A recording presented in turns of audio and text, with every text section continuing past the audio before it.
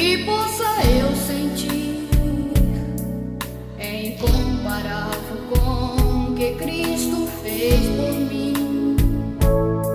No Calvário, enfrentando a dor do meu pecado, sendo